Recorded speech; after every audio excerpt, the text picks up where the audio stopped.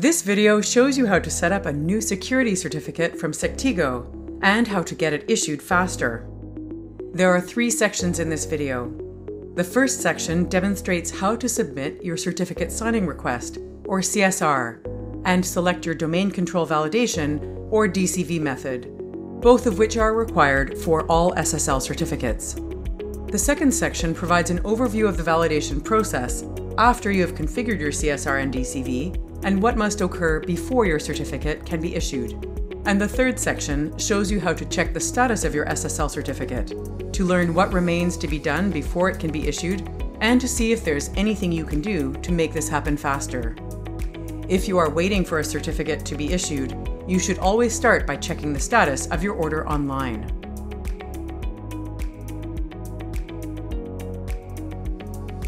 If you aren't already there, start by logging in to your admin account, which you can get to in one of two ways. Open your purchase confirmation email and click the link, then log in, or simply log in from the Sectigo website. If you're on the website, click Login, then select Customers. Enter your credentials, and then click Login. The homepage of your admin account lists your contact information the number of active services or certificates you currently own, and the number of unpaid invoices on your account. Under Your Active Products Services, click View All. Here you can see the certificate purchased during our How to Purchase a Security Certificate video. And if you had others, you would see them listed here in rows as well. Click the row for the certificate you want to work with. On the Manage tab, click Set up Sectigo SSL Certificate. The first step is to submit a valid certificate signing request, or CSR. Under Server Information, in the CSR field, paste the CSR generated by the web server where the SSL certificate will be installed. The CSR is required because it supplies critical information about your domain and the server on which SSL will function. If your domain is hosted by a third party, please contact your hosting provider to get a CSR, as they are the only ones who can provide it. If you host your own domain, you must generate your own CSR. How to generate your CSR depends on your web server software. If you host your own domain and need more information, check out our knowledge base. Here's the quickest way to find CSR information on our knowledge base. From the Support menu, select FAQ to open our knowledge base page of frequently asked questions. From the CSR Generation section, you can navigate to articles about how to generate CSRs for different server types. Now let's return to the setup process. Review and update, if required, the administrative contact information. This section should identify the person you want Sectigo to consider the primary contact for the certificate click the button at the bottom to continue. The next step is to select a method for domain control validation, or DCV, from the options listed. In this example, we'll select the option to have a validation code sent by email to the generic admin email address for the domain. Other DCV methods include creating a DNS CNAME record on the server where the domain resides, or you can create a file on the domain's HTTP HTTPS server. The CNAME CSR hash and the HTTP CSR hash options require you to use the hash values displayed on screen, so be sure to copy them if you'll be using one of these methods. For more information about these methods, open the Knowledge Base FAQ and review our DCV articles about how to get your certificate issued. When you're ready, click the button at the bottom of the page to continue. When you use email as your DCV method, as we did in this demonstration, a confirmation message now appears, indicating that an email has been sent to the email address you selected. You must log into that account and click the link provided to validate your ownership of the account. For some certificate types, you may need to provide further documentation to validate the certificate before it can be issued.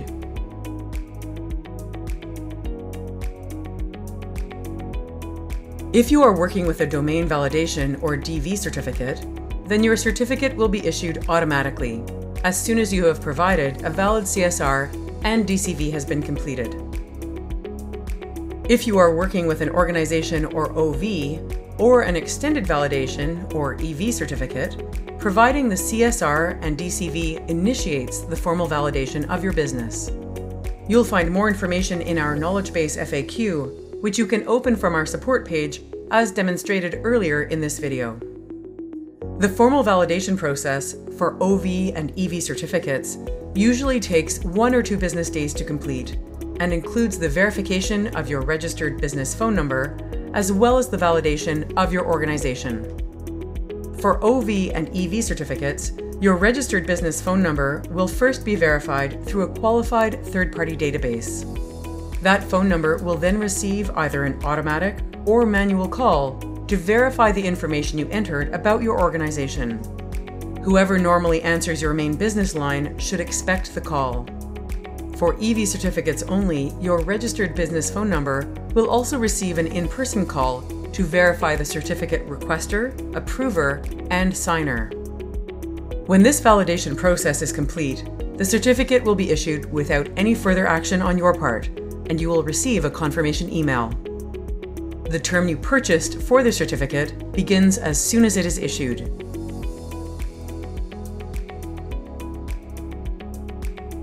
log into your Sectigo account to check the status of SSL certificate orders at any time. From the homepage, click the name of the certificate or click View All to see more certificate details.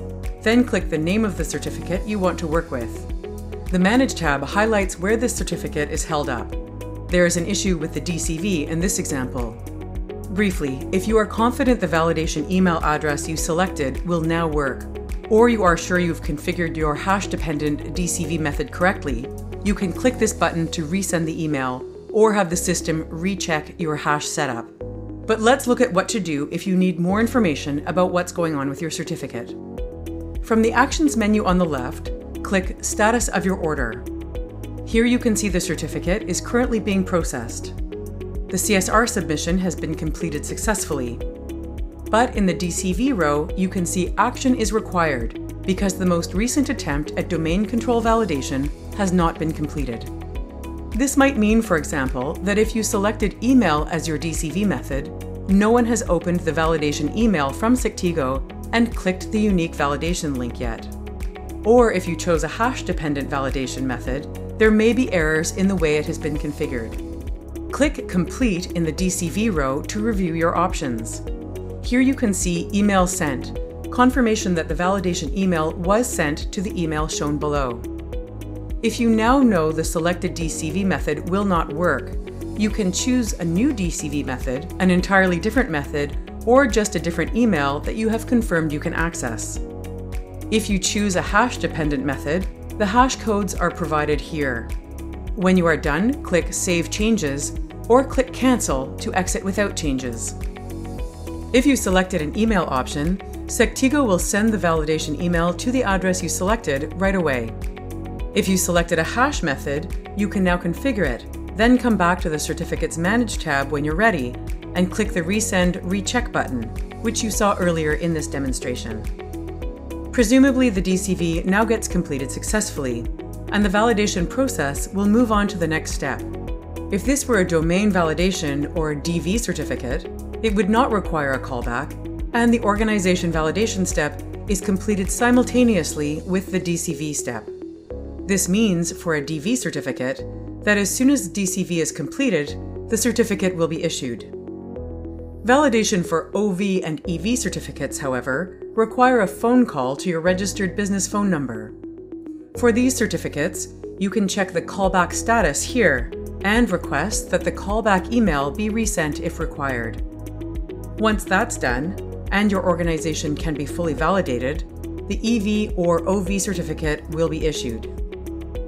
Remember, if you want to know what's going on with a certificate you've ordered, always start by checking the status of your order online.